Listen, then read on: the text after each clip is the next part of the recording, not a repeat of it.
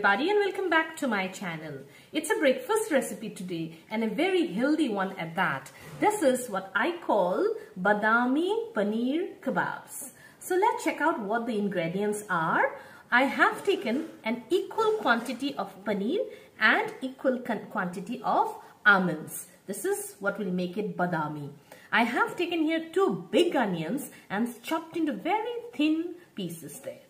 I'll need some coriander according to your taste, some milk for the binding, some breadcrumbs for the coating, some chilies, green chilies according to your taste, some mint leaves. I do not have mint leaves so I have this option there. This is a mint powder. You may have it in your house and can use it anytime you do not have mint leaves. I will need around three slices of bread and some ghee and of course for the entire cooking, I will need some vegetable oil. I have used here canola oil. You may choose any oil of your choice. Now let's start cooking. Now if you have time, you can always blanch this. That is you soak that in warm water and remove the peel. But I always like the almond with the peel on because it's more, you know, it gives you a lot of fiber in your diet and I'm using it. I don't have time as usual. I'm using this as it is. And I'm also adding in the paneer. The whole thing goes in. The paneer also goes in. And what I'm doing is there's just some, uh, you know, green chilies. And in place of water, I'm going to use some milk. And now I'm going to give it a nice mix in the mixie. Now this is the mixture that we have. See? Very smooth. This is what I want. You may leave it crumbly but I like it smoother.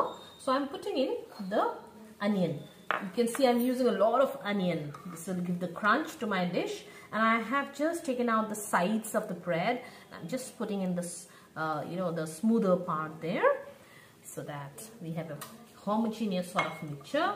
And the other thing that is the, this is the coriander leaves and of course once everything is in you need to put in something that you will always have to be careful about the salt.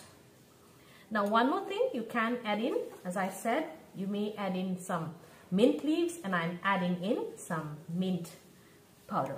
I don't have the mint leaves now so. But of course fresh is always better.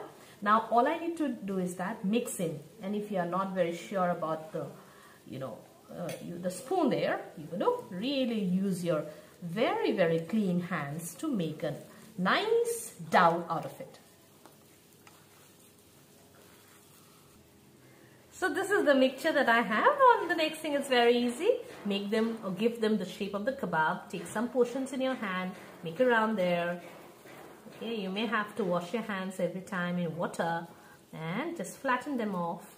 And then the next thing you need to do just take some breadcrumb and then coat it in the breadcrumb. Coat it like this and then keep it ready to be uh, fried. Together we can fry it. So I'll do this for the entire stuff. Okay, now heat a pan and just throw in some oil there. Uh, say around 2 tablespoons of oil in a non-stick pan. So these are the ones ready now, the kebabs, and now I need to fry them up. Right, the pan is heated up. I'll just reduce the flame and I'm just throwing in all of them slowly and gently. Work gently on them. They are very soft. And this way, do it on medium to low heat. Try and put all of them, as many as you can. And if it's a non-stick, they're just going to fry it but they're not going to soak in the oil. So after just a minute or so I'm just slightly going to turn them over for the beautiful golden color on the other side. So be careful not more than this. This is the amount that you want the burn on that or in fact the beautiful glaze for the crunch there. So this is how it looks and we are going to repeat this for all of them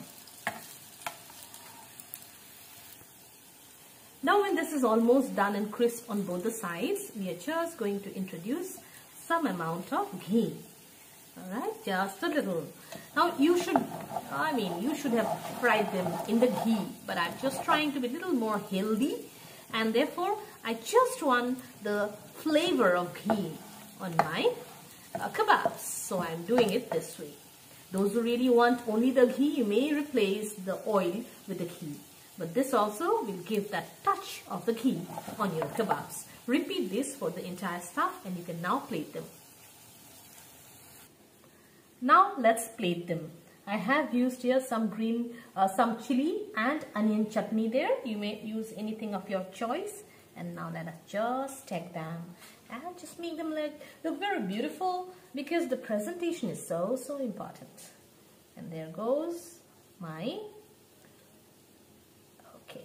these are the ones there. All right. Now you stack them and they are done. Ready and yummy and something that will really tempt all your family members to have a very healthy breakfast or a snack recipe. I hope you like this particular recipe of mine. I hope you'll give it a like and a thumbs up and subscribe to my channel if you haven't.